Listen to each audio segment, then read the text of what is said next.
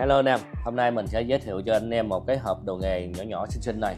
Thì đây là một cái hộp đồ nghề là nó có 1 phần tư thôi nhưng mà nó sẽ dùng sử dụng rất là nhiều ở nha chi tiết nha các anh em. Thứ nhất là mình nói về phần tiếp.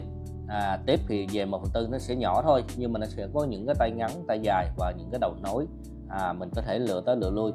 Và thứ hai nữa là trên cái đầu tiếp này nó sẽ có đầu tiếp mũi vít và mũi dẹp và mũi lục giác và mũi sau à mình sẽ khui hộp cho các anh em và chứng thật luôn. Thì trên những cái hộp này nhỏ nhỏ thì đóng về nó rất là gọn gàng luôn nha các anh em. Đấy. Đây à, mình sẽ tách ra cho các anh em xem. Đây. Thì nó rất là nhỏ gọn nó chừng khoảng tầm mười mấy 18 thôi ờ, hơn 20 thôi nó nhỏ gọn này. Thì trên cái hộp này nó sẽ đóng gói có một cái nút khóa ở đây. Thì mình sẽ việc mình bật lên và mình dỡ lên thôi nha các anh em. Đây. Thì trên cái hộp này nó sẽ có rất nhiều cái những chi tiết cho mình luôn thứ nhất anh em mà không thể mà nhìn được ở cái phần số hoặc là bị ờ, nhỏ quá không nhìn được, thì ở đây nó có những cái cái cái bạch chữ mà nó sẽ dán thẳng trên này cho mình luôn. Nó rất tiện lợi. Ở vị trí nào là ví dụ mình nói là cái tiếp 14 thôi, tiếp 14 nó nằm đây. Thì ở vị trí này là tiếp 14 thì trên cái này là một bộ phần tư thì nó gồm có những tay lắc nè nhỏ nhỏ xinh xinh. Cái này anh em mình có thể mình làm mình sách tay, bỏ túi, nó rất là hay luôn.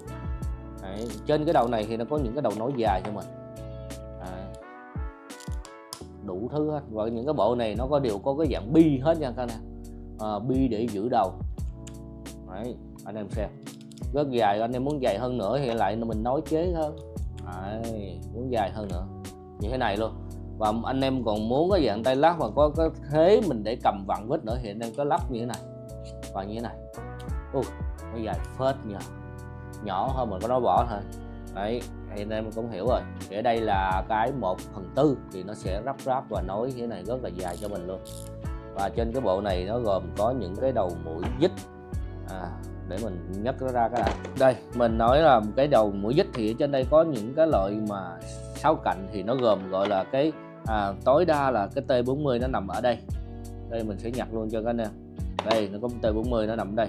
À, sau những cái đầu à, mũi sau này thì anh em sẽ bắt gặp những cái đầu lục giác mình gọi là đầu lục giác thôi. Còn theo ký tự của cái loại một phần tư thì nó sẽ có cái ghi là ký hiệu là HW à, HW 3456 3456 Đấy, tới 8 là to nhất 8 là cái con này là cái này Đấy, nó to đùng luôn. Rồi sau đó có những cái loại mũi đầu những dít như là bốn cạnh và tám cạnh hoặc là hai cạnh. Thì ở đây sau là có bốn cạnh và có tám cạnh như thế nào. Thì trên hai đầu mũi dít này có bốn cạnh thôi thông thường thôi thì còn những cái loại mà ốc chuyên dụng á thì nó sẽ có một cái bốn cạnh phụ ở ngang hông thì nó sẽ tạo một cái độ là độ trễ xuống. Thì cái loại dít chuyên dụng này anh em sẽ có tình huống nó sẽ gặp những cái loại dít đó thì mới mở dung cái loại này. Còn loại này thì nó chỉ ăn bốn cạnh dưới thôi. Đấy thì có hai loại mũi dít cho mình luôn. Rồi ở đây là những cái đầu những đầu vít như đứt dẹp thì chắc anh em không xa lạ rồi. Đấy.